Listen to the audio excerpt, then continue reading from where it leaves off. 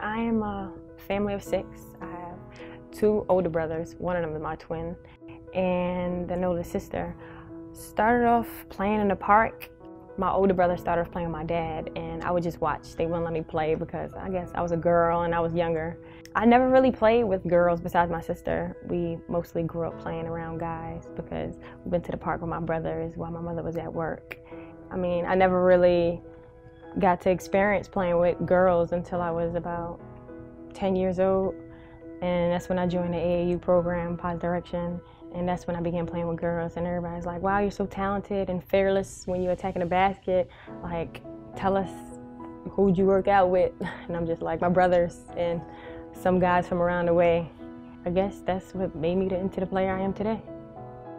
As a youngin', I had a lot of passion and love for the game. I wasn't sure how far I wanted to go with it. I just was playing just because I love basketball. People began to tell me how good I was, and I was just like, I love it. I love the attention. People were asking me, what's next for you? A lot of schools began to reach out to me and ask me if I want to join their program. And my AU coach had already been a part of Mary Louis, and so that's where I went. I followed I guess, the fad that was happening at the time. We was all going to Mary Louis. And I wanted to take my talents elsewhere. I wanted to compete at a different level on a different stage. So that's when I transferred to Mary Bertram. I had to sit out a year, but I watched them win a championship that year. And I was like, that's what I want. The next year, I worked my behind off, and we sure enough won a championship.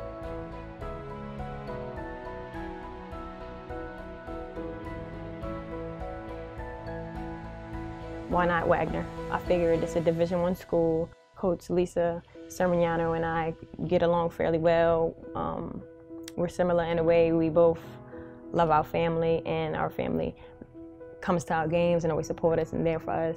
So when she proposed the idea of um, making a change over at Wagner College, I had to think about it for a while. The bond we started to create over the recruiting process was it was a good one. I, I liked the vibe she gave me, and the idea was it was genius. In my class, Taylor, Lindsay, at the time Maria, um, and Jackie, we were all standouts on our team, and we all had the same goals, and it kind of persuaded me even more that I got along with my class. We all had the same visions. I believe my fearlessness helps me go to ball.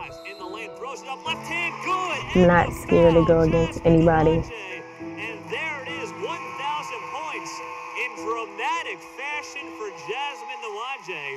One thing I feel like I brought to Wagner's women's basketball program is speed and tempo. When I first came, they weren't going at the same pace as I had been playing. The girls just became hit to the style, and now we all are at that tempo.